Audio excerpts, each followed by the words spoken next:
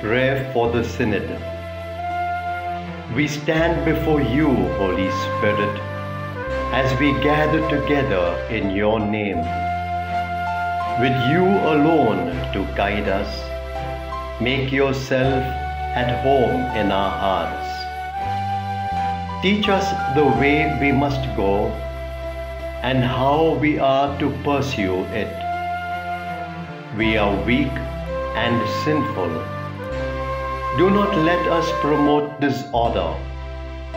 Do not let ignorance lead us down the wrong path, nor partiality influence our actions.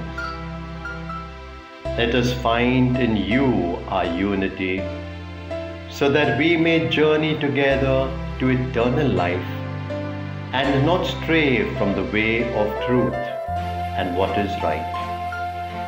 All this we ask of you, who are at work in every place and time, in the communion of the Father and the Son, forever and ever.